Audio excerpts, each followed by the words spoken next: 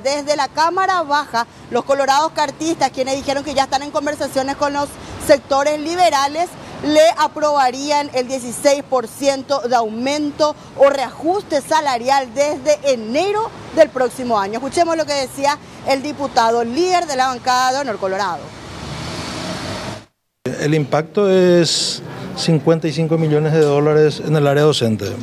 Son, estarían ganando con estos 3 millones de guaraníes y afecta tanto a los que tienen horas cátedra como a los que enseñan por turno. Es el estamento más perjudicado.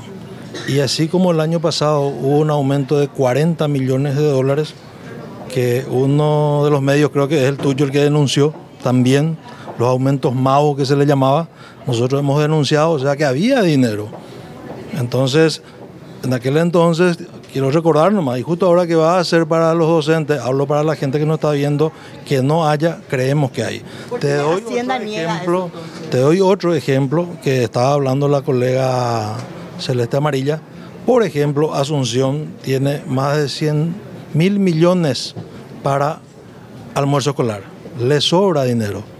Lleva prácticamente el 60% del presupuesto de almuerzo escolar. Entonces, ¿por qué no se redirecciona eso? ¿Por qué Asunción recibe almuerzo escolar del MEC y también de FONACIDE?